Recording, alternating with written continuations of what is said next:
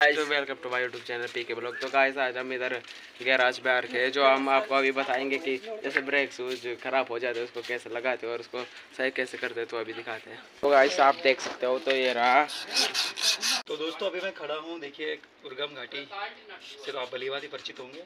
और उर्गम घाटी में जब भी आप आओ अपना वाहन लेके अगर आपके वाहन में कोई भी खराबी कोई भी दिक्कत या आपकी दो पहिए वाहन है, चार पहिए वाहन है, इसमें कोई भी खराबी दिक्कत होती है तो आप यहाँ पे जो कल्पेश्वर वर्कशॉप है, आप यहाँ पे मिल सकते हो और यहाँ पे अपनी जो समस्याएँ हैं, वाहन की उसे दिखा सकते हो और आपकी जो भी समस्या है, टायर पंचर है और टायर से संबंधित जितनी भी प्रॉब्लम या उर्गम घाटी की सड़क से तो आप भली भांति परिचित हो।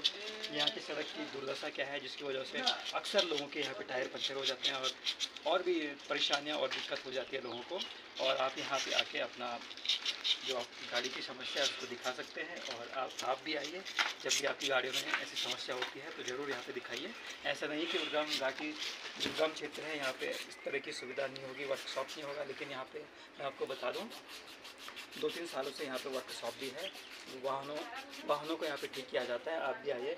इस सुविधा का लाभ लीजिए और अच्छे से आपके वाहनों की यहाँ पे देख रेख होगी और अच्छे से जो आपके वाहनों में शिकायत तो जो ये टायर के रिम के अंदर जो ड्रम होता है, जो ये घिस जाता है तो ब्रेक शूज़ वो कम कम लगता है तो आवाज़ भी करते हैं तो आप देख सकते हो।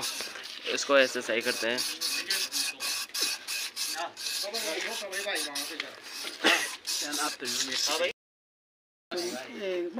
एक है। टायर का रिम।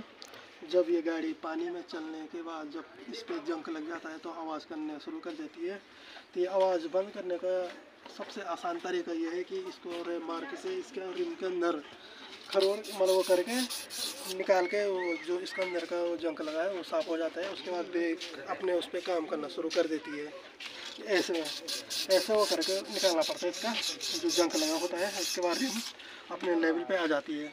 उसके बाद ब्रेक सूच कोई आवाज़ कोई कुछ नहीं करेगी तो ब्रेक सूच एकदम नॉर्मल लग जाएगी उसका। हो गया इधर ये अभी साफ़। तो अभी दूसरा टायर भी अभी हम उसको खोल के भी दिखाएँगे आपको। तो अभी इसको लगाएँगे और ये रिम देख सकते हो ये रिम रिम का वो ड्रम जो हो गया साफ़। उसके बाद अभी इस पर करना बाकी है। इस ये भी साफ़ होगा थोड़ा थोड़ा जिसके कारण मतलब ब्रेक शूज़ ठीक ढंग से काम करने लगेगी। और ब्रेक शूज़ ब्रेक शूज़ लेके आओ। ब्रेक शूज़ जिसके अंदर ये पानी से मतलब पानी जाके ये ड्रम पूरा ही गीला पड़ गया और इस पर जंक लगा था जिसके कारण ये ब्रेक शूज़ काम करना, कम कर दे रही है। तो इसको, इसका आसान तरीका ये है कि इसको रे मार्की से ऐसे वो निकाल के ये काम करना शुरू कर देती है, जिससे ये, इसका जंक हट जाएगा और ब्रेक शूज़ अपने लेवल पर काम करना शुरू कर देगी। ठीक है? यह है ब्रेक शूज़ उसके बाद हम इसको इस पर फिट करेंगे और तब उसके बाद देखेंगे कि इसका क्या वो निकलता है, काम करेगी नहीं करेगी हो सकता है नया ब्रेक सूट डालना पड़े या इसी से काम कर देगा। इसमें कोई वो नहीं है। ब्रेक सूट लगे रहते हैं। इसको भी साफ़ करके देखते हैं कि क्या काम करना लगता है ये। ये इसको ऐसे साफ़ किया। उसके बाद देखते हैं अब अगला प्रोसेस क्या होता है इसका? काम करना लगती है, नहीं लगती है। और वो तो जब टायर फिट होगा, उसके बाद ही पता चलेगा इसका काम, कि करता है कि नहीं करता है ये। तो हो गया हमारा कंप्लीट उसके बाद यह है ब्रेक तो इसको अब हम इस पर करते हैं फिट ऐसे ऐसे पकड़ा। और पहले ऐसे किया और उसके बाद कभी कभी टाइम लग जाता है इस पर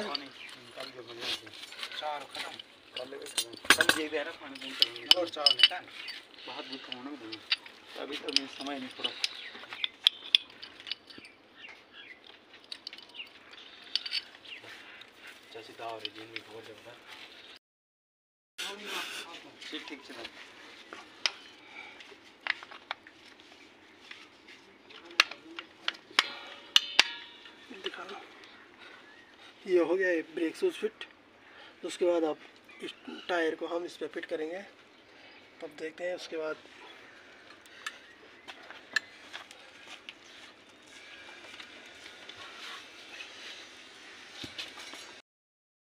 तो गाइस ये रहा अब इसको हम फिट करेंगे टायर को। तो गाइस ये हो गया फिट। ये देख सकते हो आप इसको ऐसे करते हैं फिट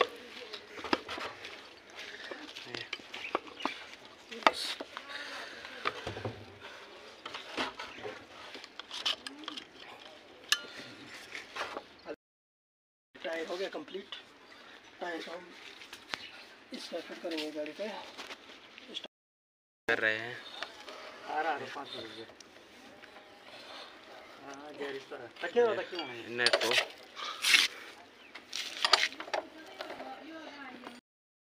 नंबर का पाना से ये है। एक्सल का जो नेट है इसको चौदह नंबर के पाने से कसा जाएगा।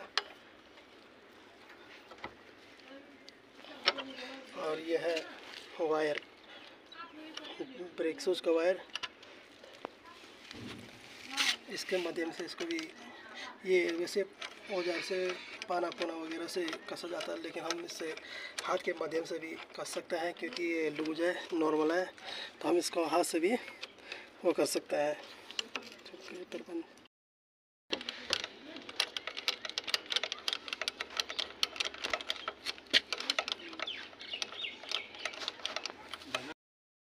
दूसरा टायर था। ये इसका भी ब्रेक सोच खराब था। ये देख सकते हो आप ऐसे लगाते हैं।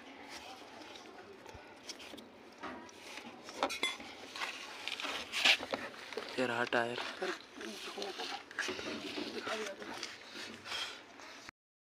हो गए दोनों टायर हमारे फिट। तो ये अभी हम इसको ट्रायल पे ले जाएँगे कि आप देखेंगे कि कैसे हो सकता है। ये ये अभी इसको ट्रायल पे